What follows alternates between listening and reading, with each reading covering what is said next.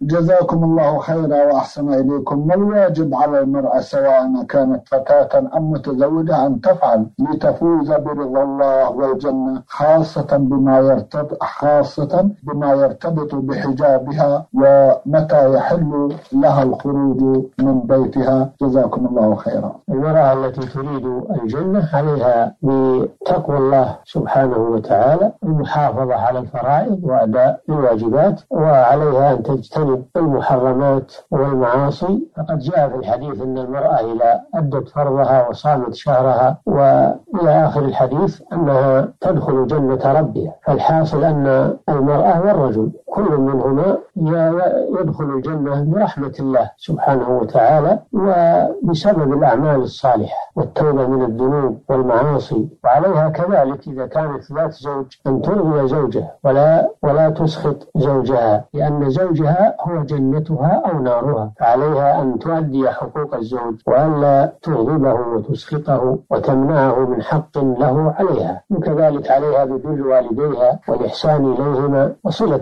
الأرحام والأقارب والإحسان إلى الفقراء والمحتاجين والمسلمين كل هذه من أسباب دخول الجنة. قال تعالى وأحسنوا إن الله يحب المحسنين. نعم.